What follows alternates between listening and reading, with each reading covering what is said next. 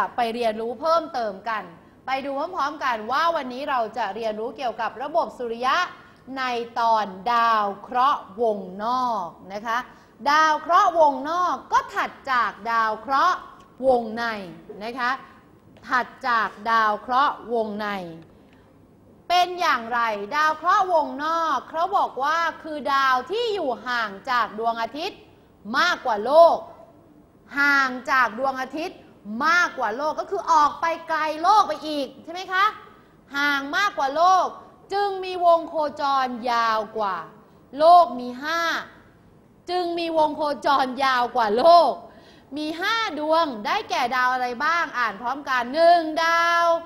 อังคารสองดาวพฤหัสบดีสามดาว ดาวเสาร์สี่ดาวห้า ดาวและดาวเนปจูนห้าดวงนี้อยู่ไกลออกไปนะคะ มีวงโคจรยาวกว่าโลก 5 ดวงเมื่อเทียบระยะทางห่างจากดวงอาทิตย์มากกว่าโลกนะคะ 5 ดวง คราวนี้เราต้องค้นหาข้อมูลพร้อมกับบันทึกในกิจกรรมนะคะ วันนี้นักเรียนศึกษาข้อมูลเกี่ยวกับ ดาวเคราะห์วงนอก พร้อมบันทึกข้อมูลที่ได้ลงใน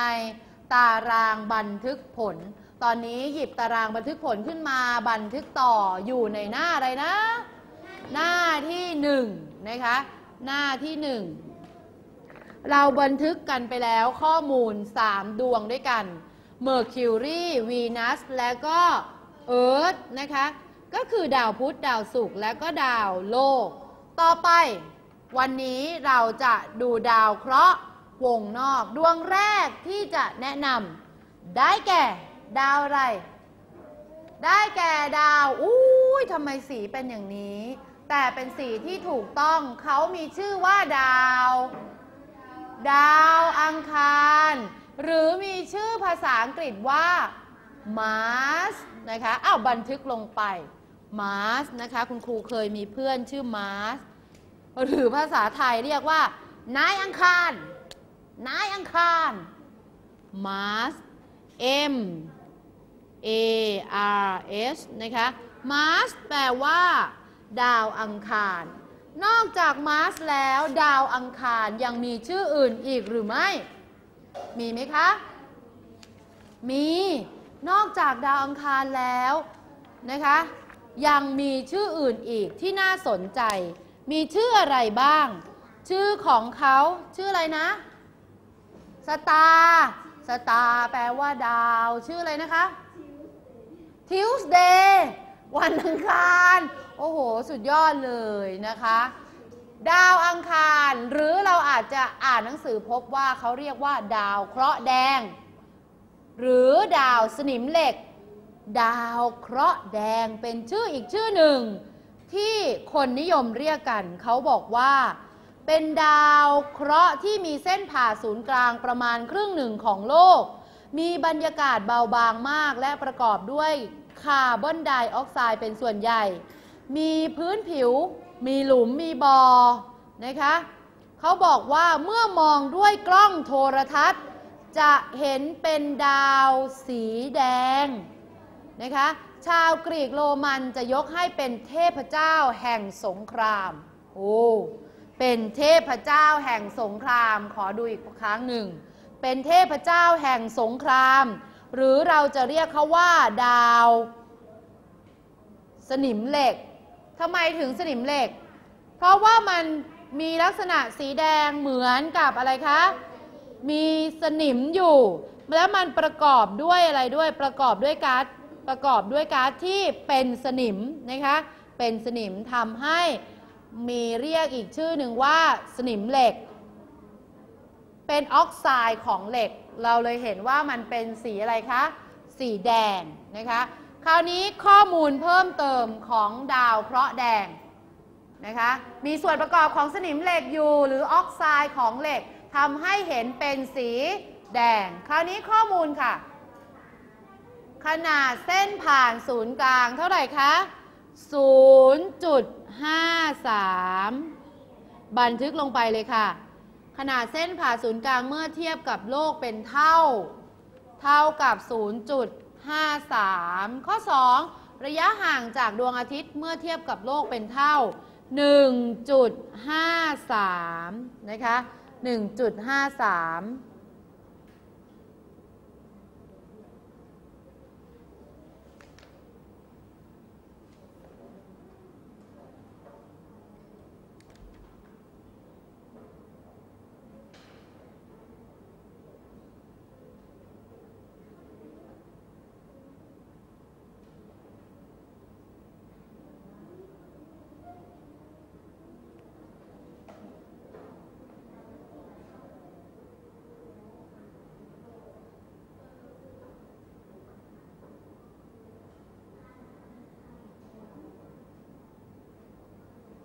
และสิ่งที่สำคัญนะคะเขาบอกว่าดาวเคราะห์สีแดงนี้ประกอบด้วยแก๊สคาร์บอนไดออกไซด์เป็นส่วนใหญ่ มีออกซิเจนและน้ำอยู่น้อยมาก มีขั้วสีขาวคล้ายมีน้ำหรือแก๊สออกไซด์ที่เย็นจนแข็ง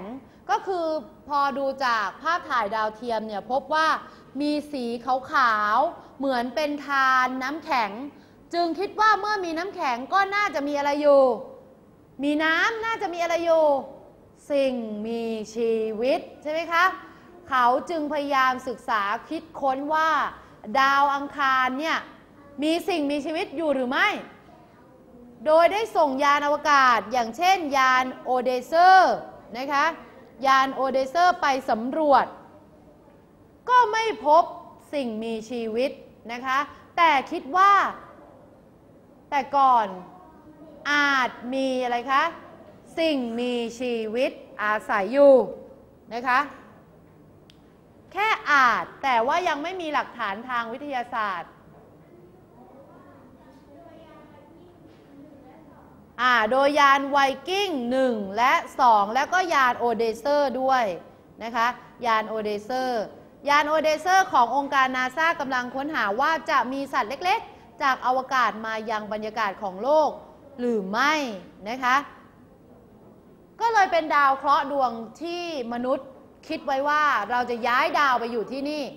เพราะเราพบว่ามันมีธารอะไร ธารน้ำแข็ง คิดว่าถ้ามีน้ำมีแก๊สออกซิเจนอยู่เล็กน้อย น่าจะไปอยู่ได้สิ่งมีชีวิต เก็บตังค์เยอะ ๆ เดี๋ยวซื้อยานอวกาศแล้วไปเที่ยวกันดาวอังคาร นะคะ เดี๋ยวคุณครูขอไปกับเจสซี่ด้วย ต่อไป ข้อมูลข้อต่อไป อุณหภูมิพื้นผิวเห็นไหมลบ 120 องศาถึง 25 องศาเซลเซียส ซึ่งมันมีอุณหภูมิเป็นไง ใกล้เคียงกับโลกมนุษย์นะคะ แต่ว่าถ้ามันหนาวเย็นมันเกินอะไร เกินโลกมนุษย์นะ ตั้ง 120 ลบด้วยนะ ติดลบ 120 องศาเซลเซียส แต่ถ้าร้อนร้อนแค่ 25 องศาเซลเซียสเท่านั้นเอง แล้วก็บรรยากาศบนดาวเบาบางมาก พบก๊าซคาร์บอนไดออกไซด์ไนโตรเจนและอากอนนะคะอากอน หมุนรอบตัวเองหนึ่งรอบ ใช้เวลา 24 ชั่วโมง 37.4 นาที นะคะโคจรรอบดวงอาทิตย์หนึ่งรอบใช้เวลา 687 วันนะคะมีบรรยากาศบนดาว เราเขียนแค่ก๊าซคาร์บอนไดออกไซด์พอนะคะคาร์บอนไดออกไซด์สีของดาว เป็นสีอะไรคะ สีแดง เพราะมีส่วนประกอบของสนิมเหล็ก ข้อสอบชอบถามว่า ดาวเคราะห์สีแดง คือดาวอะไร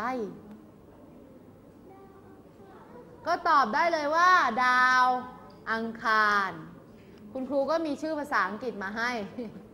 Mars Venus Earth Mercury ก็ต้องตอบว่าอะไรคะ Mars นะคะ Mars มีดวงจันทร์เป็นบริวารสองดวง โอ้สองดวงมีดวงจันทร์เป็นบริวาร ดาวอังคารอยู่จำนวน ดาวอะไรกับดาวอะไรนะคะ ดาวโฟบอสโฟบอสกับดาวดีมอสเป็นดวงจันทร์ที่เป็นบริวารของดาวอังคารเอาละ อันนี้คือข้อมูลทั้งหมดของดาวอังคาร เป็นดาวที่คิดว่าน่าจะมีน่าจะมีสิ่งมีชีวิตเคยอาศัยอยู่ เพราะพบถ่านน้ำแข็งใช่ไหมคะ ต่อไป ดาวดวงต่อไปถัดจากอังคารแล้วเป็นดาวอะไรคะอ่าไปดูดาวพฤหัสบดีเป็นพี่บิ๊กของเรา เพราะเป็นดาวดวงที่มีขนาดใหญ่ที่สุดในระบบสุริยะ มีชื่อภาษาอังกฤษว่าจูปิเตอร์นะคะจูปิเตอร์ J U P I T E R จูปิเตอร์โอ้โห ชื่อแกเพาะมากเลย จูปิเตอร์เป็นดาวเคราะห์แก๊สดวงแรกของระบบสุริยะ มีขนาดใหญ่โตมาก เป็นดาวเคราะห์ที่ใหญ่ที่สุดในระบบสุริยะ มีเนื้อสารมากที่สุดและมากกว่า ดาวเคราะห์ดวงอื่นๆรวมกันนะคะ อันนี้คือดาวพฤหัสบดีเขาบอกว่า มีขนาดใหญ่กว่าโลกประมาณ 11 เท่า โอ้โห 11 เท่าเลยทีเดียว อยู่ห่างจากดวงอาทิตย์เป็นลำดับที่ 5 หมุนรอบตัวเองเป็นเวลา 9,925 ชั่วโมง ชั่วโมงหน่วยเป็นชั่วโมงนะคะ เยอะไหม เยอะเยอะเลยทีเดียวนะคะ บรรยากาศของดาวพฤหัสมีลักษณะเป็นแถบกว้าง และเป็นเข็มขัดตามแนวขนานกับเส้นศูนย์สูตรนะคะอะลองไปดูข้อมูลนี่เป็นภาพนะคะ ให้เห็นชัดๆดาวพฤหัสนะคะ จะมีแถบเป็นเข็มขัดนะคะ เราก็จินตนาการไปตามที่เห็น หรือเราเรียกว่ามันมีขนาดใหญ่ที่สุด เป็นดาวที่มีขนาดใหญ่ที่สุดในระบบสุริยะ ข้อสอบก็ชอบถามว่าดาวที่มีขนาดใหญ่ที่สุด ในระบบสุริยะคือดาวอะไร Jupiter Mars Venus Earth ก็ต้องตอบว่าจูปิเตอร์นะคะ คราวนี้ไปดูข้อมูล ขนาดเส้นผ่านศูนย์กลางเมื่อเทียบกับโลกเป็นเท่าเท่ากับ 11.21 เท่า ระยะห่างจากดวงอาทิตย์เมื่อเทียบกับโลกเป็นเท่าเท่ากับ 5.21 เท่านะคะ โอ้ข้อมูลนะคะเป็นข้อมูล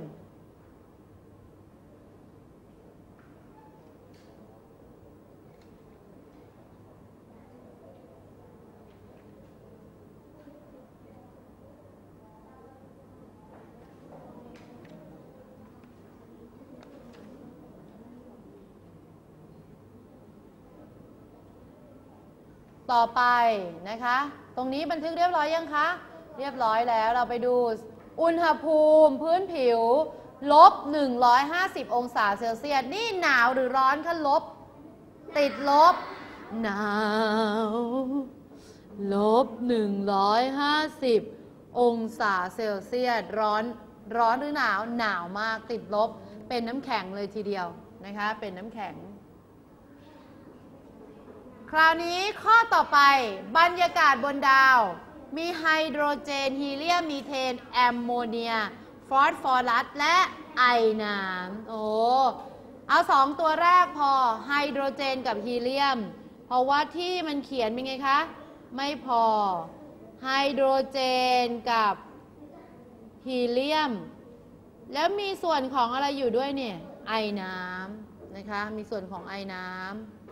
ไฮโดรเจนกับฮีเลียม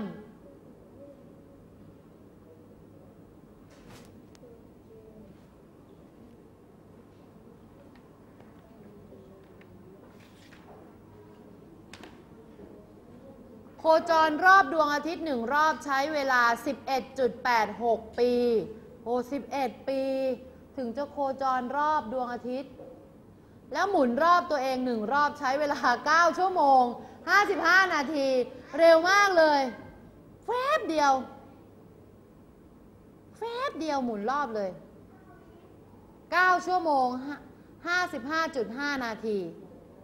แต่ว่าโคจรรอบดวงอาทิตย์ใช้เวลา 11.86 ปี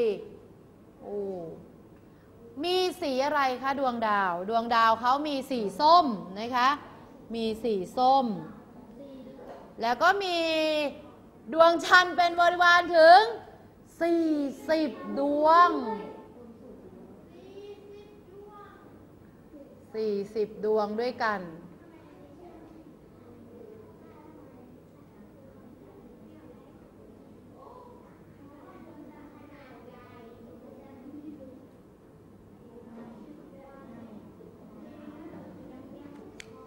ต่อไป ดาวดวงต่อไป ถัดจากดาวพฤหัสบดีก็เป็นดาว